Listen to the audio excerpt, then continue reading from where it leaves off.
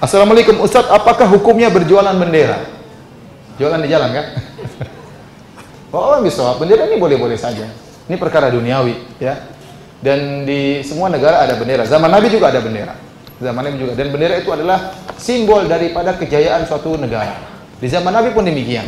Bendera harus dijaga. Dalam peperangan itu biasanya pegang bendera di, diserbu oleh lawan. Karena kalau benderanya jatuh, mentalnya jatuh. Maka mereka berusaha memegang bendera dengan hebat. Makanya disebutkan bagaimana Ja'far bin Abi Thalib pegang bendera. Waktu tangannya terputus, dia pegang dengan tangan kirinya terus lagi dia pegang dengan kedua lengan atasnya untuk memegang apa?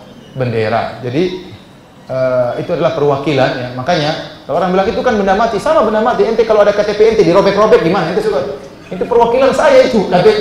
Ya misalnya kan ente juga tersinggung karena itu orang tahu itu perwakilan. Bukan bukannya kita mengkeramatkan benda ini, tidak itu perwakilan simbol.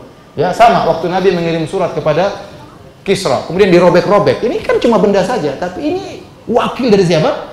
Rasulullah SAW. Paham? Sama bendera itu wakil dari suatu negara yang harus dihargai karena ini uh, wakil dari suatu negara. Jadi mudah-mudahan tidak tidak mengapa jualan apa bendera. Wallah alam bisawab.